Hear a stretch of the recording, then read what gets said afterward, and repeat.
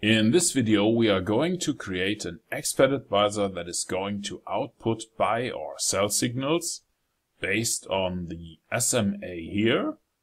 It's a moving average signal that is created for 50 candles. This one is the current signal and this one is the signal predicted into the future. And whenever those two lines cross, we either get a buy or a sell signal when the future SMA is below the other one, we have a buy signal. And when the current SMA crosses the future SMA and is below it, like here, we have a sell signal. To create the Expert Advisor, please click on the little button here or press F4 in your MetaTrader. Now you should see the Meta Editor window and here you want to click on File, New Expert Advisor from Template. Please click on Continue. I will call this one Simple Shifted SMA. Click on Continue, Continue and Finish. Now we can delete everything above the onTick function and the two comment lines here. We start by creating a string for the signal. This one will also be called signal and we don't assign a value right now because this one needs to be calculated later on. Let's create two arrays, one for the current moving average and one for the shifted moving average.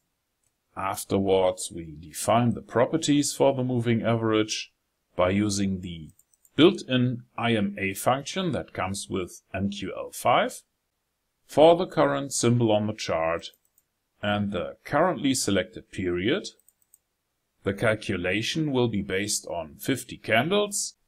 Here we use a shift value of 0. The calculation will be for an SMA, so we use mode underscore SMA. That stands for simple moving average. And the result will be based on the close price. The second calculation looks almost like the first one, we have two differences here. The first difference is that this one is for the shifted average definition. And the second one is that we use a shift value of 20 here. This will move our SMA 20 candles into the future. So when we pause this, you will see that this is the current candle, this is the current value, and this one is the predicted value that is shifted into the future. For both of our arrays, we use ArraySetAsSeries to sort the current array from the current candle downwards, here for the moving average array and here for the shifted average array.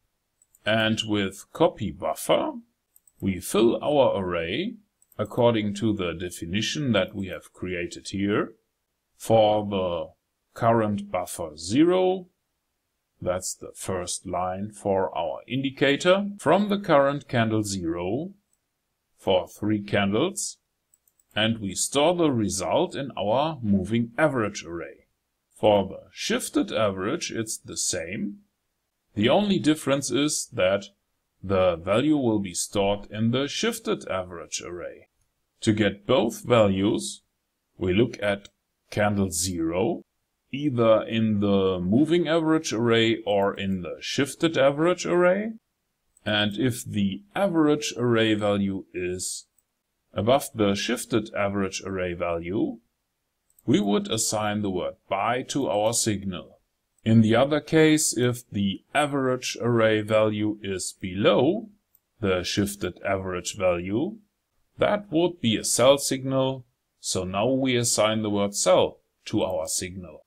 Last but not least, we use the Comment function to output the words the current signal is, followed by our current signal, directly on the chart.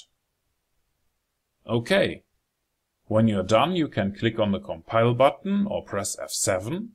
That should work without any errors. And if that is the case, you can click here or press F4 to go back to MetaTrader. And in MetaTrader, we click on View, strategy tester. Here we pick the file simple shifted SMA.ex5. mark the visualization option and start our test. And here we are. Currently we have an uptrend. The shifted value is below the current value.